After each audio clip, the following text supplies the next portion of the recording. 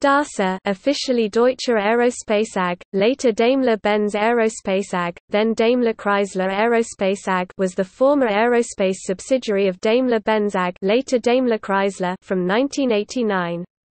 In July 2000, DASA merged with Aerospatiale Matra and CASA to form EADS.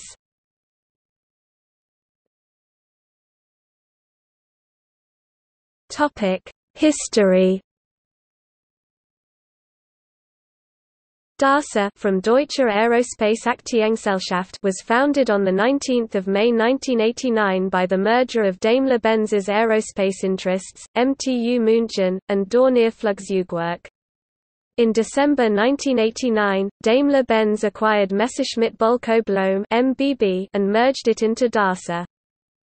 In March 1990, Daimler-Benz initiated a major restructuring of the new group, integrating the previously separate companies into five product groups, aircraft, space systems, defense and civil systems, propulsion.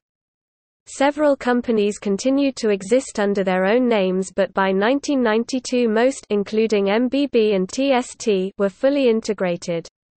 In 1992, the helicopter division was joined to Aerospatiale's helicopter division to form Eurocopter. On January 1, 1995, the company changed its name to Daimler-Benz Aerospace AG. With the 1998 merger of Daimler-Benz and Chrysler Corporation, the company was renamed Daimler-Chrysler Aerospace AG on November 7, 1998.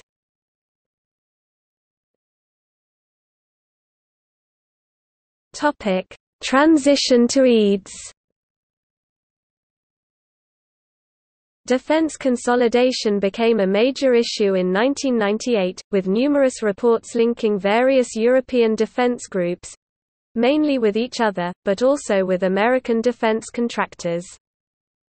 On July 10, 2000 DASA MTU merged with Aerospatiale Matra of France and Construcciones Aeronáuticas S.A. of Spain to form the European Aeronautic Defence and Space Company EADS.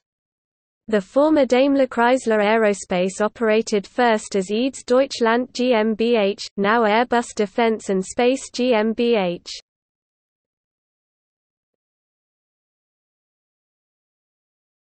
Topic: Projects.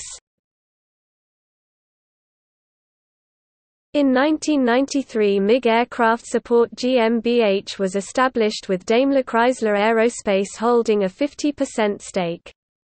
The company undertook the upgrade of the 24 MiG-29s to NATO standards. The aircraft were inherited from the former East Germany after the reunification of the country. As part of the Eurofighter consortium, Daimler-Chrysler Aerospace manufactured the center fuselage sections of all the development aircraft, DA beginning with DA-1 which made its first flight from Daimler-Chrysler Aerospace's Manching facility in March 1994. Daimler-Chrysler Aerospace was responsible for the mid-life upgrade (MLU) of the German fleet of Panavia Tornadoes, similar to the RAF's GR-4 upgrade. Owing to its expertise with German and NATO aircraft Daimler-Chrysler Aerospace became an expert in upgrade of many Allied aircraft, including the F-4 Phantom II and the E-3 Sentry.